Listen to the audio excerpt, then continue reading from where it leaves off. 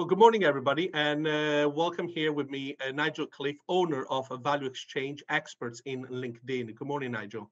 Good morning. Hi. So, can you please introduce yourself and your training courses?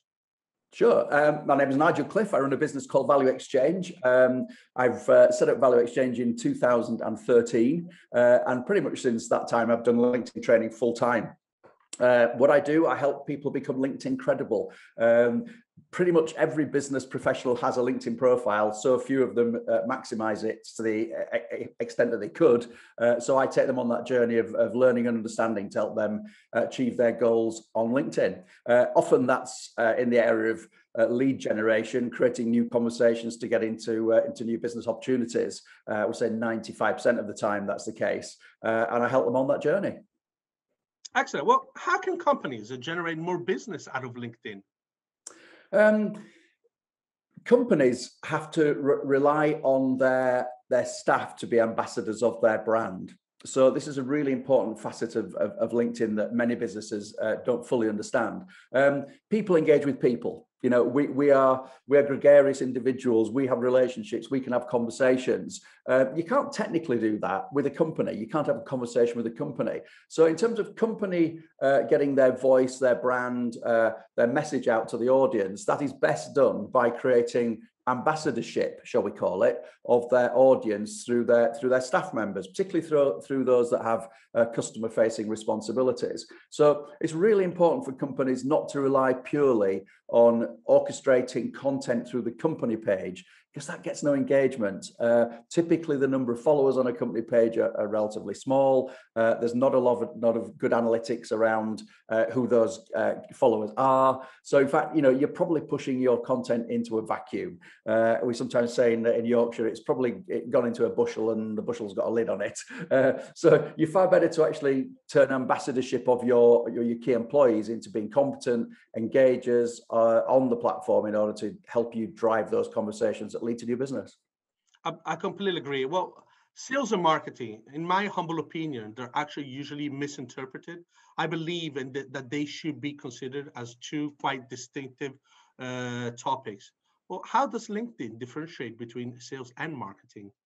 I think uh, sales and marketing has become a, a, it's interesting, isn't it? The world of digital communications, I think, has changed the the concept and that sometimes separate nature of sales and marketing. You know, I really think they're one and the same thing.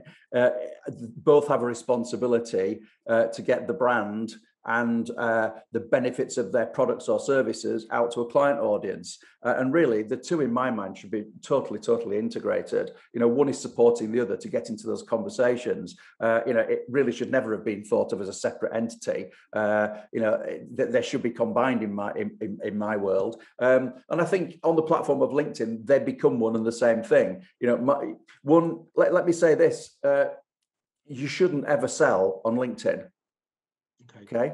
How how how do you mean, Nigel? You just talked about it as a lead generation platform. Absolutely, but you never sell on LinkedIn. So how does that how does that fathom? Okay, what we do is we create presence, we create trust in our personal brands, uh, we build integrity with with our audience, with our tribe, uh, and we provide knowledge and benefits to that audience around us. That, when done well, means that people of the right type want to be our friends want to be in contact with us, want what we've got. So if we do this in a way that's adding value to that relationship, we're dropping, you know, something into that relationship of value on a constant and and and uh, regular basis. Consistency is a big issue.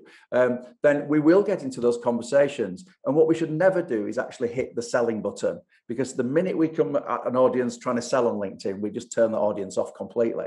So the, the concept of sales and marketing is an interesting one in that concept because we don't sell on LinkedIn in in a way, it's all kind of marketing, but but with a sales effort at, at, the, at the, lead of it. Uh, you know, the, obviously the intent is to get into those conversations that will turn into business. But there is no buy button on LinkedIn. You know, it's not Amazon. You can't purchase anything. You're not going to sell your goods on LinkedIn. So what you really must do is is use LinkedIn as a, a vehicle to get into the conversation that's then going to be taken somewhere else over coffee, hopefully in the near future, uh, you know, on a Zoom call such as this one, Andrea, uh, you know, or, or, whatever. But it isn't going to be the deal's not going to be clinched on LinkedIn. So don't try and clinch it there. You know, that it's a place to get into the conversation, which will then be taken somewhere else. So that's my perspective on that sales and marketing question that, that you raise. Um, I, I completely agree. Marketing, especially on LinkedIn, is a fantastic door opener. And then afterwards, going to get the sale. Absolutely, absolutely. How do you see LinkedIn evolving in the next uh, few years, and how can companies uh, potentially tap into this uh, uh amazing business opportunity?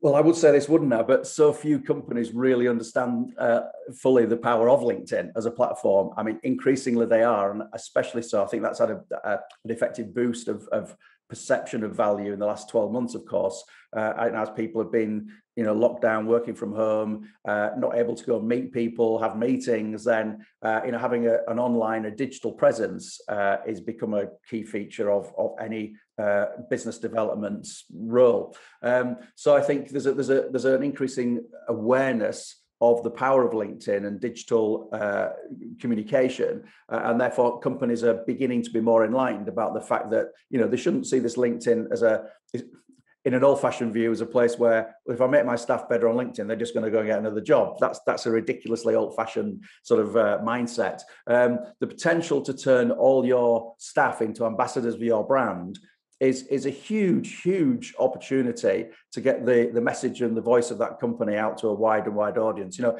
every, every, each one of us have got multiple connections in in all different worlds. So imagine the voice of uh, of your product or service being ad, uh, portrayed through adding value going out to thousands and thousands of people uh, then the power of that is just immense. So i do see companies you know over a period of time be increasingly beginning to wake up to the reality of the value of social media business to business relationships. Uh, and, and, without doubt linkedin is you know like it or not the the, the preeminent platform you know for that. Um, not to say that other social media platforms don't have a place depending on your product type but in a business to business environment linkedin is is, is clearly the one.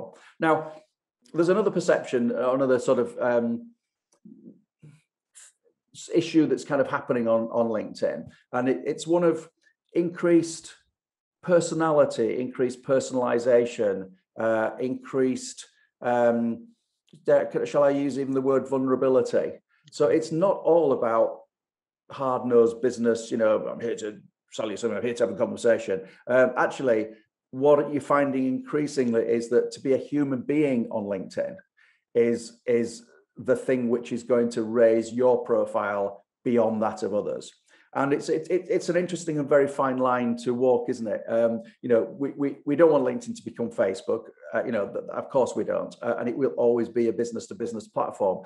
But that doesn't mean to say that individuals can't have personality on there. And i think we're going to see an increasing uh, likelihood of, of the platform um, moving towards that personal uh, lifestyle you know, uh, issues around mental health being, you know, preeminent as as as they already are, but an increasingly amount so. Uh, so that actually, you know, when we're buying into a brand through a person, because people buy people first, um, we engage as individuals and as individuals we have lives we have challenges we have things to overcome. Uh, you know we, we, we've got joy in our lives and we share that and you know we've got sadness in our lives and we should be prepared to, uh, to share that too. So i think um, this ability to to have a, a true personality on LinkedIn, I think is going to be an ever increasing factor of a successful uh, strategy, shall we say, uh, for winning an audience's favor to get into those conversations, which might just very well change your business life. Fantastic. Well, that was amazing. Thank you very much, Nigel. And if you have any questions or need any assistance with LinkedIn, please contact Nigel uh, at Value Exchange. He'll be able to help you out. Thank you. Thanks very much indeed.